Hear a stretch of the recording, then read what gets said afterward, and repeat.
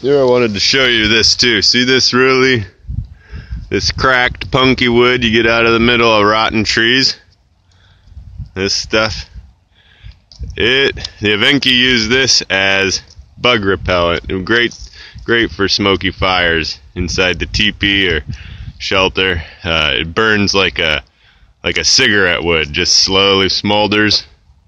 Throw a little bit of that in a bowl with some coal ash some hot coals and it'll just make a nice smoky fire to keep the bugs away. Also, put it on, put it on here and we can finish smoking our fish. I lowered them down to hot smoke them a bit, finish cooking them so I can eat them. There you go. Pretty cool. Gonna be delicious.